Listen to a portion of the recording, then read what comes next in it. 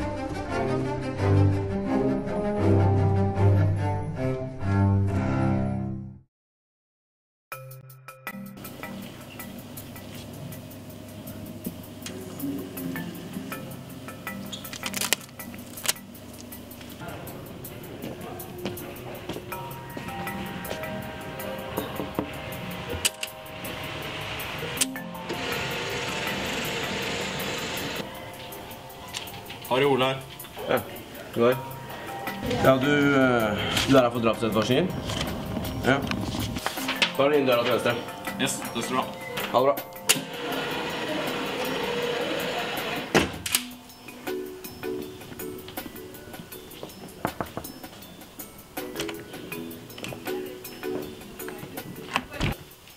Ja, det var Ole, var det det? Det stemmer. Ja. Konstabel Hermansen.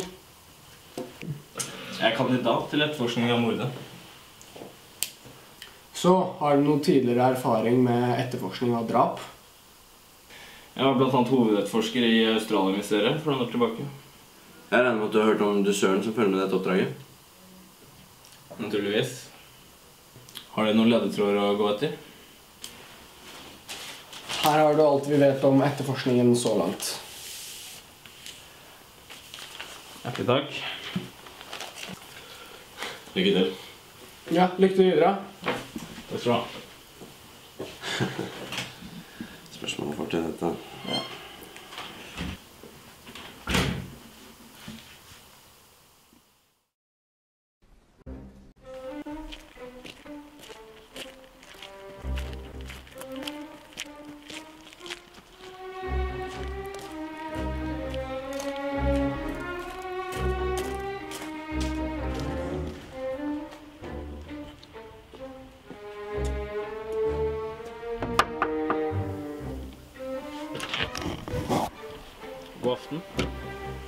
Mitt navn i Ola.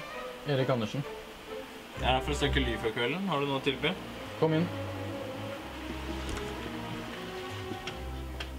Du får stikke inn og høre med broren min i stua. Stig på.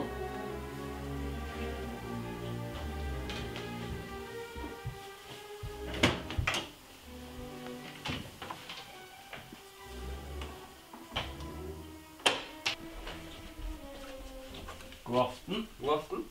Er de den andre broren i huset? Ja, slå dem ned. Takk skal vi ha.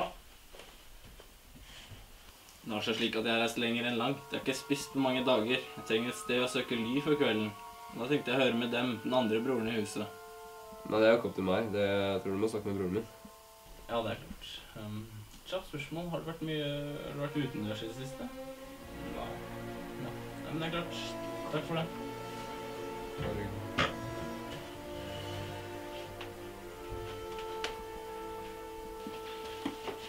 God aften.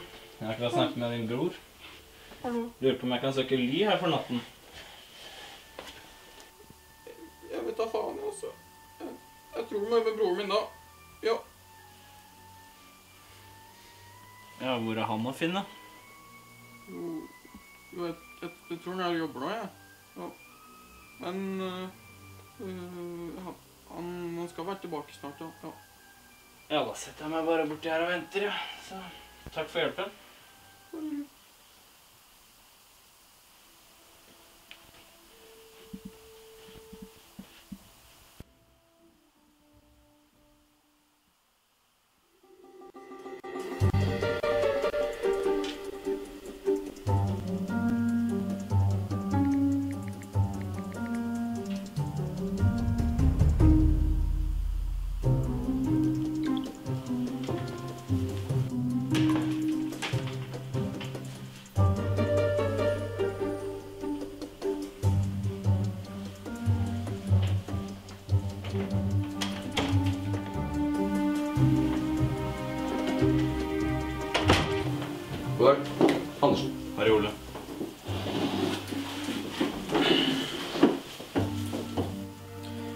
Min tid er dessverre noe begrenset, men uh, hva var det du ønsket?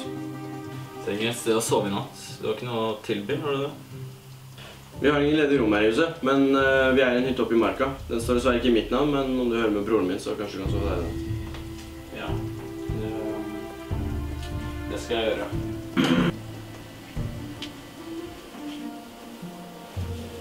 Er du våken? Unnskyld? Vet du om drapet som foregikk her i går? Ja, nei Du må ta deg sammen, mann. Mm. Er det greit? Hæ?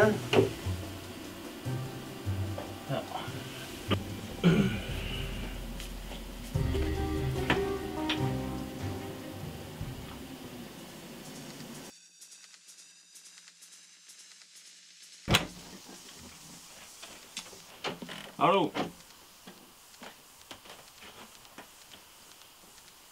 Du våken? Unnskyld? Ah! Hvem i helvete er du? Frykt ikke. Jeg er i Hole. Jeg er her for å søke ly for natten. Vet du noe om hytta oppi høy der? Ja, tilhører eldre broren min. Din eldre bror, ja. Hvor er han å finne? Han finner den i kjelleren. Er han den eldste her i huset? Ja. Hva skal du ha. Ja.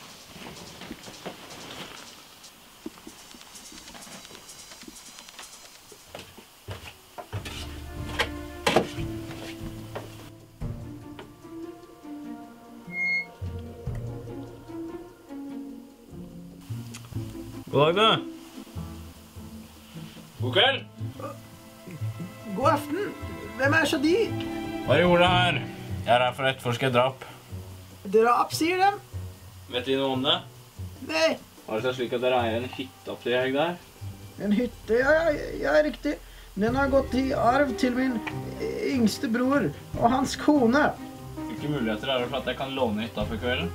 Og du, det, da må du høre med eieren av hytta. Eieren av hytta, ja. Det var din yngste bror. Det, det stemmer. Ja, men takk for hjelpen. Takk skal du ha.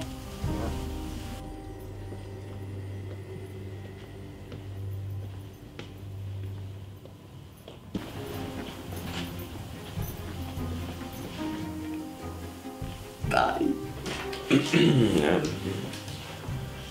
Hei igjen.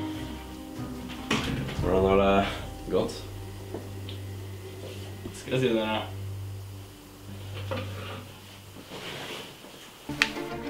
Det første jeg så da han kom huset, var bilnøkkelen som stakk opp av lomma. Videre så jeg en våt buksekant og våte sko som stemte overens med rapporten. Han hadde tydelig vært utendørs. Med min ekspertise til å lese kroppsspråk kunne jeg fastslå at det han sa, var sant. Jeg stusset over knivene på kjøkkenet. Tenkte egentlig ikke høre på hva han hadde å si. Jeg skulle bare sjekke skoene i gangen. De stemte nemlig ikke med rapporten. Dermed kunne jeg avskrive han fra lista. Pupillene hans var tydelig utvidet. Med andre ord, han var ikke i stand til å utføre noe som helst. Etter samtalen med håndtrykket kunne jeg konstatere at han var fysisk og mentalt ustabil. Jeg kunne dermed utelukke han for resten av etterforskningen. I rapporten sto at en av brødrene var sengeliggende. Jeg kunne dermed raskt fraskrive denne broren fra etterforskningen også. Da jeg kom inn til den syvende og siste broren i huset, forhørte jeg meg litt om hytta oppe i høgde, men kunne raskt dra, fordi jeg visste at han ikke var i stand til å utføre noe som helst. Etter jeg hadde forhørt meg med alle brødrene i huset og var på vei ut, kom jeg på bildet jeg hadde sett på peisen. Det var tydelig et forhold mellom den første broren i huset og kvinnen som hadde rapportert om drapet. Jeg kunne nå danne et bilde om hvordan drapet hadde foregått.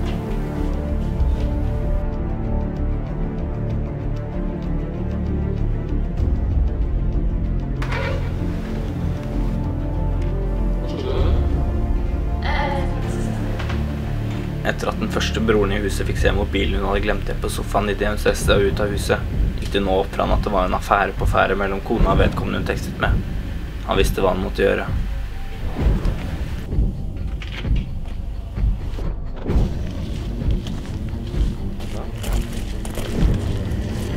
Hva var unnskyldningen denne gangen, da?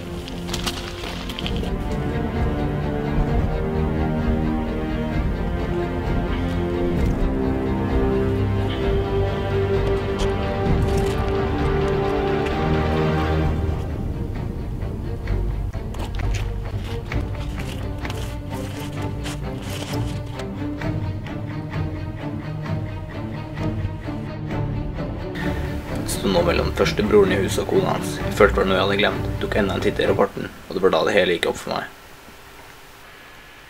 Bråbremsen midt på veien, for så å rygge. Tydelig tegn på hastverk, men ikke for å snu. Det hadde ikke vedkommende tid til. Kvinnen var fortsatt inne i huset, og kunne umulig ha kjørt bilen. Det var da kun en mann igjen, nemlig den første broren i huset.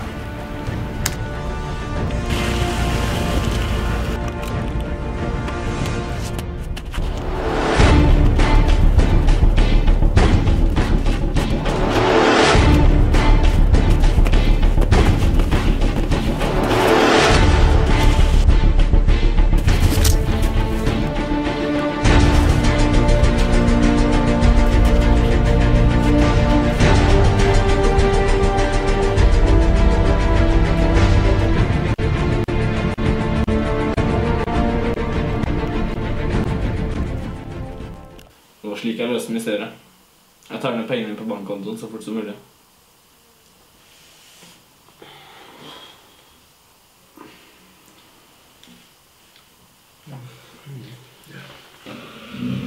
Ja. Farvel.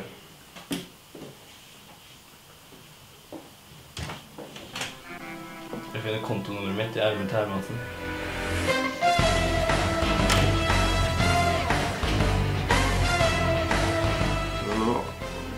Han sa?